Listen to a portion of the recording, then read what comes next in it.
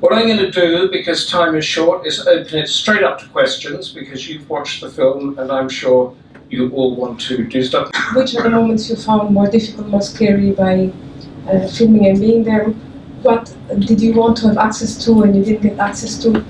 And perhaps also access that was maybe a bit more difficult ethically or personally, looking at people being shot and uh, funerals and things like that, which these three dimensions of access. Access was was difficult in general, especially when I started making this film, which was in 2013. At the time that I started filming, um, I would say a lot of conservationists in Africa were very afraid of speaking out about what was happening. Um, so there was the whole process of meeting people, build and building trust. And even though I was well-known photographer and journalist in many parts of the world, I actually had not worked in Africa prior to this film. Well, I guess in, in Northern Africa I had in terms of uh, the revolutions in Egypt and Libya, but in terms of the conservation realm. So it took a long time to build uh, relationships and gain people's trust. And and then there was the issues of telling the story. I mean, I knew what we could potentially be seeing or capturing in Garamba, but I had you have no way of knowing what's actually going to happen when you're in the park. And the park is the size of the state of Delaware. So you, you could have a major incident in the park and be in another part of the park and completely miss it.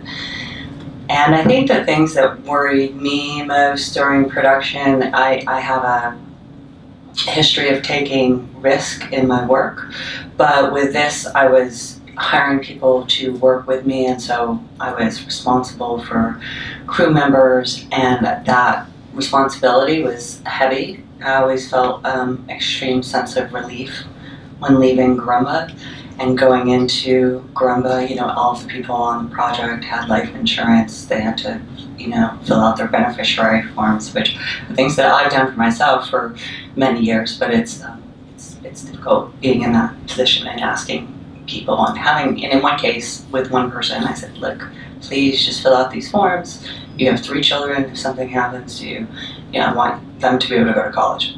Um, so it was it was a heavy amount of responsibility, and I'd say that I don't I don't think it would have been possible for me to make this film at an earlier time in my career. It's from the 15 years of moving around the world and working in difficult circumstances and having a global network that enabled me to pull this all together logistically.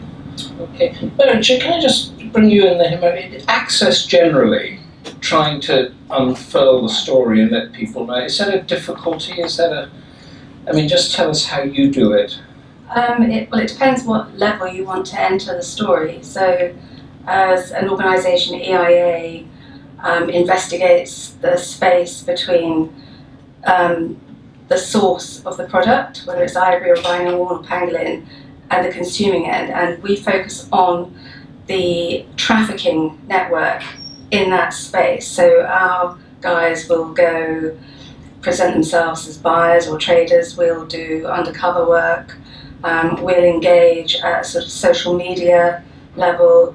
It's, it's a long drawn out process in order to understand who, who's involved, what their modus operandi is, where the stuff is going, what does it cost, and then we package that up and put it to government. But we're kind of presenting ourselves as I suppose, criminals as well in many regards. So it's, it's all undercover. A lot of it is undercover. Getting more dangerous?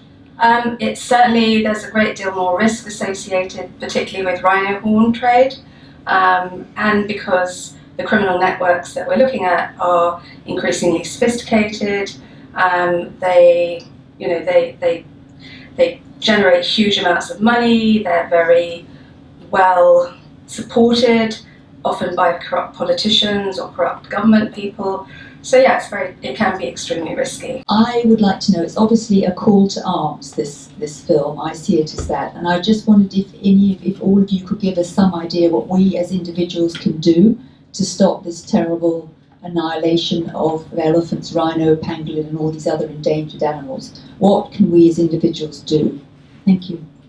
Okay, first in two seconds, what do you want to do, and then let's get Will in here on that? Uh, one of the things I've been doing since the film uh, first premiered at Tribeca Film Festival last April is screening in places where ivory bans are pending. And the UK is one place, and the EU. In the fall and winter, I screened extensively in Hong Kong. A ban was passed in Hong Kong in late January.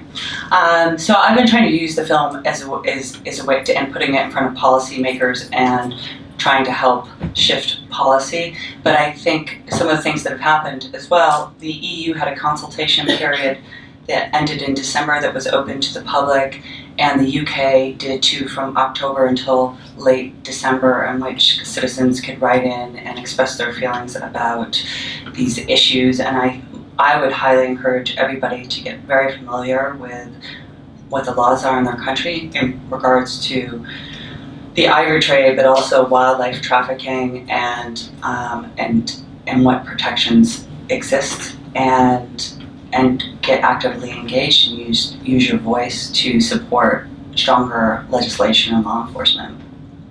Well, is that working? Oh gosh, is it working? Um, it's terribly slow. I think that's the that's the thing. I mean, uh, first of all, I, I'm such an admirer of this film and, and Kate's work. I think it is really profound and extraordinary. And um, I watched this film, and I, said when I saw it the first time with Kate, I said it's a film full of humanity because there's a lot of films that are made out there that are um, rather cold and analytical, and this is just full of people. Actually, I was thinking, I was scribbling sitting on the sofa there, I was thinking it's a it's a film full of ghosts, full of ghosts of those as those rangers and and the poachers and the elephants and the rhino and all the other species that Mary's mentioned as well. And I look at Sam Wasser, who I've known for 15 years since 2004. I think I took Sam to his first CITES conference, and I see a haunted individual. Uh, he is tormented by what he sees, and how he keeps going, I don't know. Um, so that sounds rather grim. Um, but I think that there is a sliver of hope. And that is, um, I was talking about it earlier with, with um, someone else. I was saying there are things you think you can't change. And we all kind of have ideas of what they may be. And I'll give you a couple of examples that have nothing to do with wildlife. One is the Berlin Wall, and the other is the Soviet Union. And you think, when I was growing up, well, Berlin Wall's never going to come down, and the Soviet Union's here for eternity. And it's not the case. And then you see in the wildlife sector what can be done with a film like Blackfish that completely changed the fundamentals around the keeping of orca in captivity. And I kind of think, you know, people are often saying, who's making the next Blackfish? Well, I think this could be the next Blackfish because I think it has the power to change the way we do business. And I, and I think, in answer directly to your question, what can we do? That one thing we must not do is remain silent. We must become the advocates for change. It will not change if we simply allow our politicians, our elected representatives, whoever they are and wherever they're from, to continue to do business as usual. We cannot stay silent and allow those guards to work away with their jammed AK 47s and their rifles that don't work, and uh, as they watch yet another body be buried or comrade um, entered into the earth. We have to do something about it.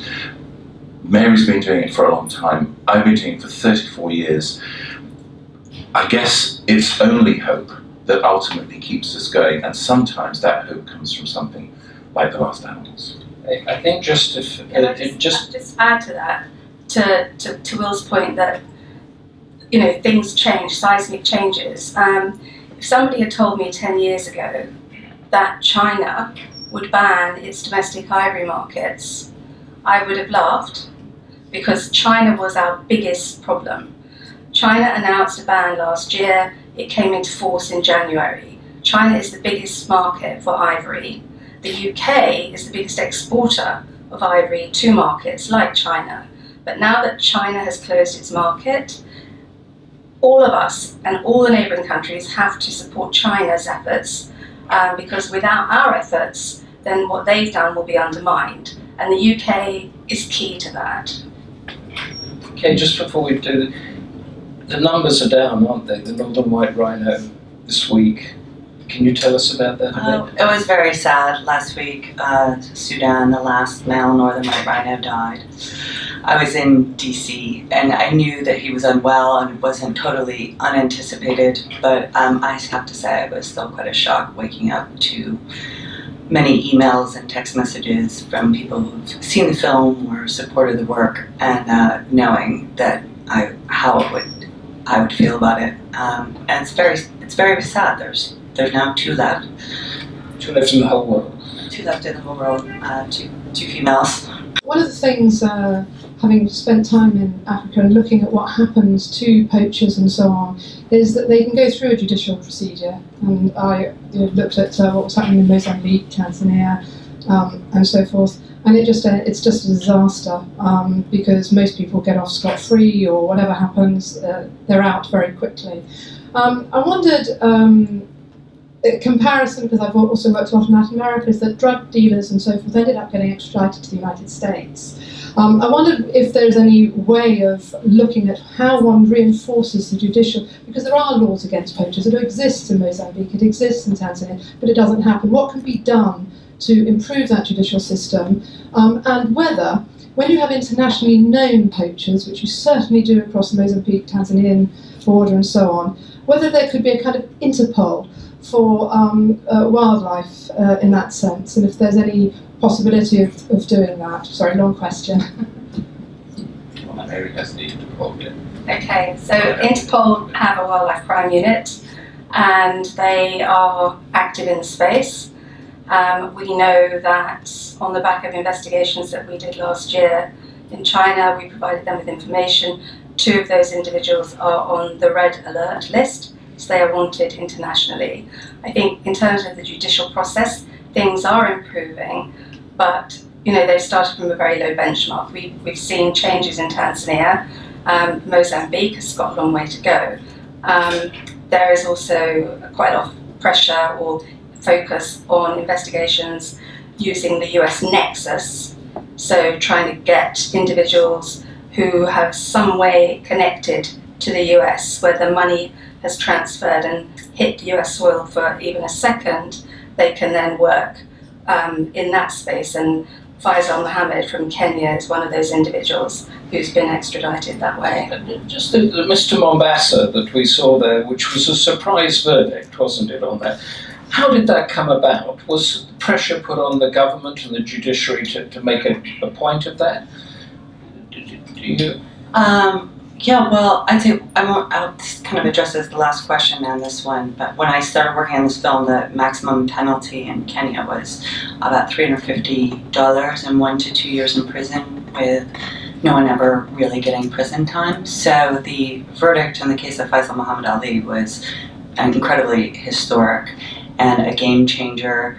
Um, there is an NGO called Wildlife Direct, and they've started monitoring all wildlife trafficking cases in Kenya to make sure that the judicial process is not uncorrupted. And they were very, very instrumental in making sure that the Faisal case was um, properly observed.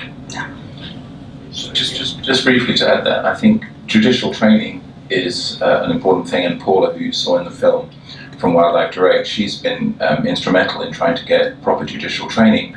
Because if your judges don't know how to interpret the law, how to use the law to maximum effect, or think that wildlife crime is a is a, a sort of um, small petty crime in some way, um, then you will not get those deterrent sentences, which are absolutely necessary. Um, but uh, and there are two things. There's there's a, a fantastic network out there called the Eagle Network that operates in five, six different countries, um, and they are an NGO, but they help the judicial process. They help the entire law enforcement process, right through from sting operations to getting people to court, to making sure that witnesses aren't paid off, the judges aren't paid off, and that people serve their time. And, and without fear or favour, they'll take it to the top if they have to. But the, but the one thing that all of this relies on is political will. If you don't have political will at the top, this thing falls apart very quickly. And we've been reading in the press only in the last few days about how, until recently, Grace Mugabe was going down to the ivory stockpile in, in Zimbabwe and at will saying, uh, I'll have some ivory, please, and or going off and flogging it in order to presumably um, support her addiction to handbags.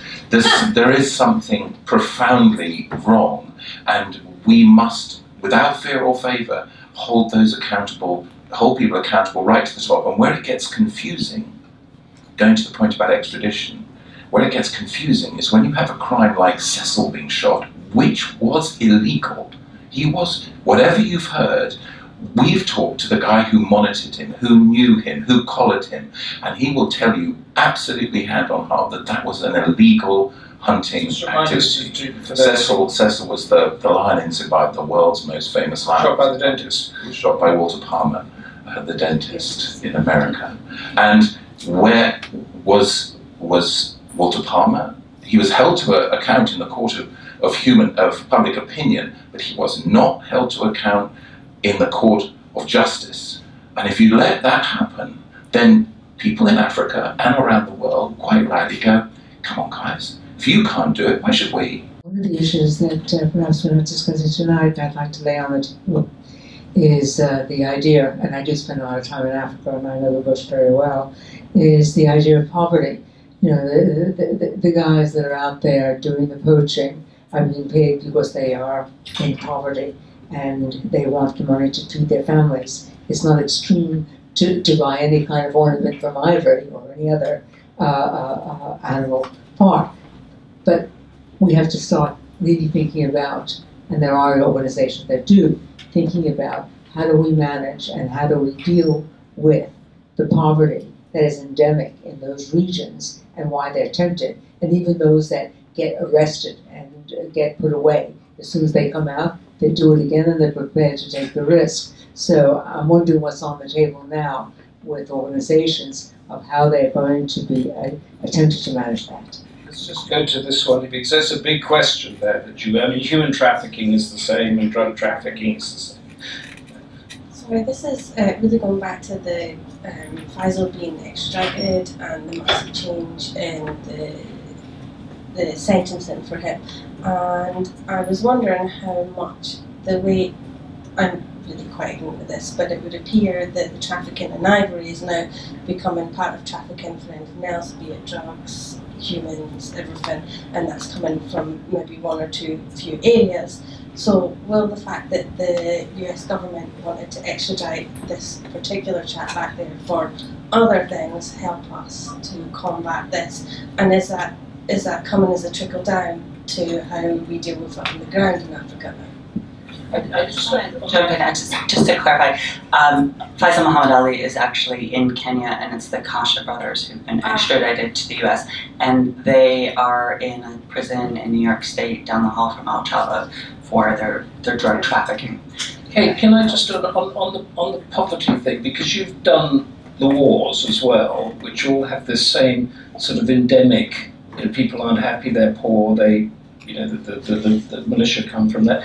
What connection do you see to the question down here to the sort of conflict that we've all covered from time to time? The, the poacher, that poacher particularly, you know, will go back to poach again because there's nothing else that that person can do. I wouldn't necessarily.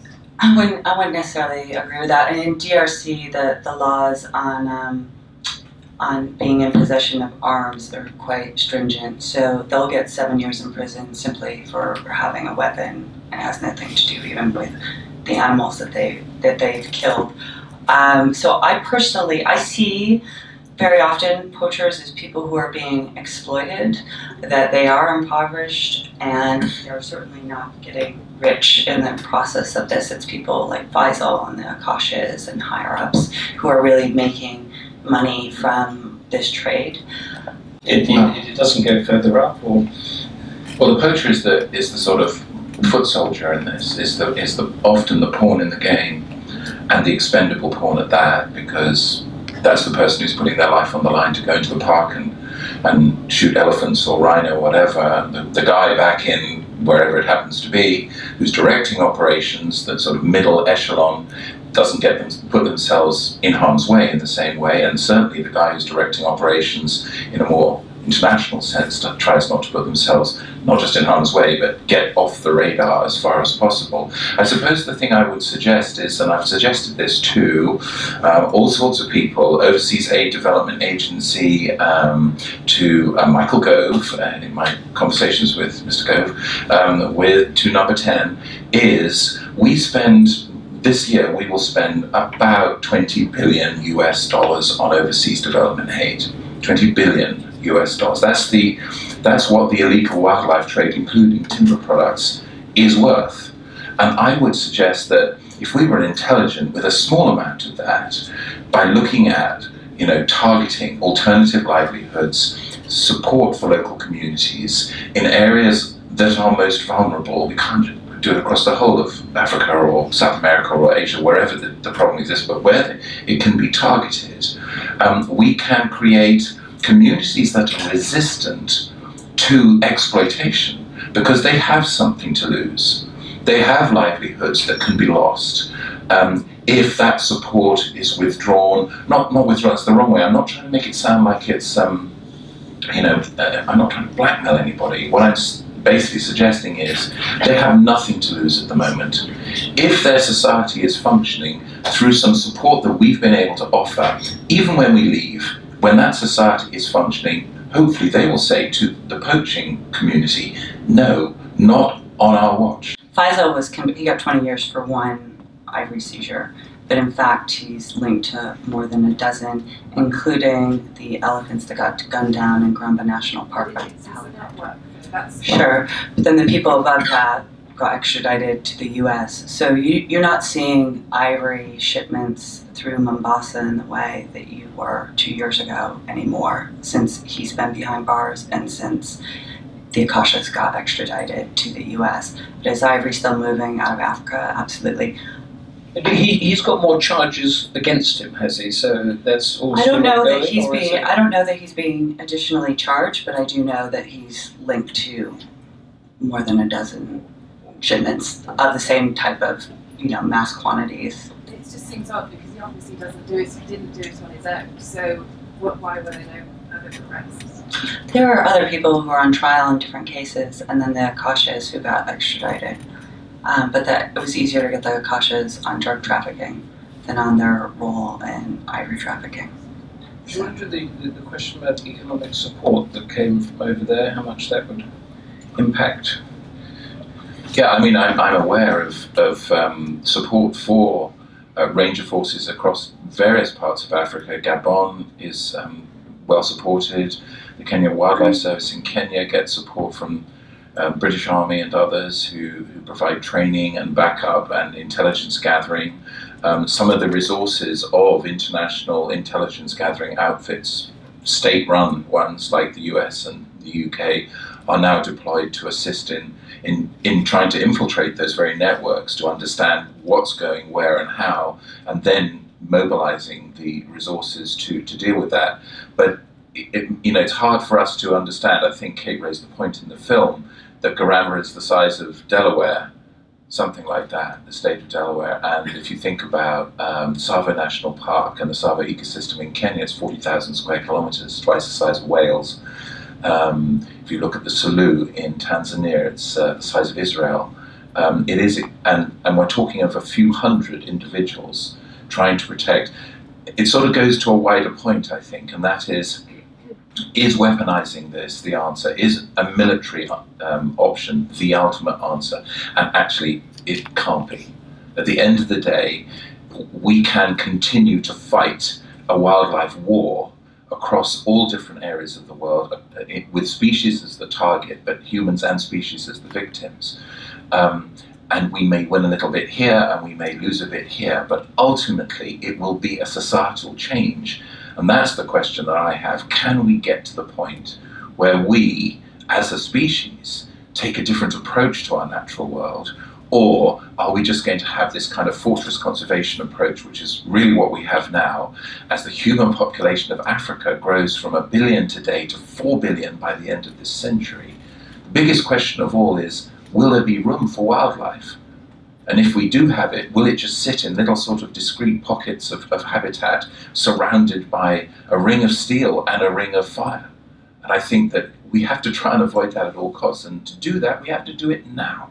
There's no point in waiting, like Sudan and the northern white rhino. We seem to love a crisis.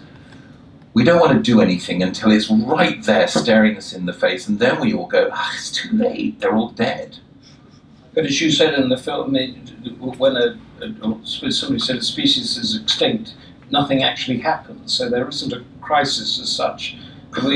There's one one question I've got as uh, sitting here. I've got that privilege. Is when do people start making money? Because the poacher doesn't make money. At what stage does the money start coming in so that it becomes an organised crime cartel that is worth? So the poacher is the, the lowest hanging fruit. And so every other person above the poacher will earn more.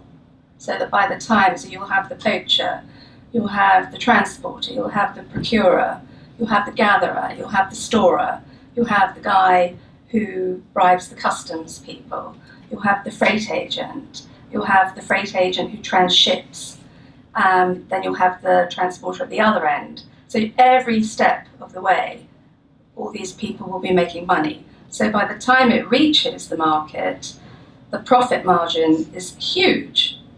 But the guy at the top of the chain has taken no risk and will get the most profit. So, for example, um, a case that we looked at, poachers were getting about $40 a kilo. I mean, this is quite a few years ago. $40 a kilo, then it was being sold on at sort of 70 then it was sold on at 130, and so on and so forth until by the time it reached the market, it was going for anywhere between $1,500 and $2,000 a kilo. Um, and that's the nature of a network.